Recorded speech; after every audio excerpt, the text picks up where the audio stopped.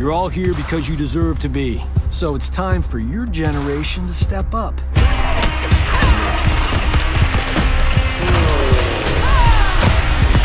I'll remember that.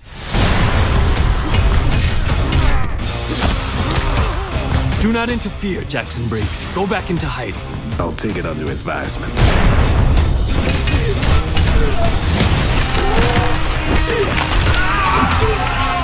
Some of my rust off. We took your father's arms. We will take all of you. That was for you, Dad. Now who's being overprotective? Gotcha!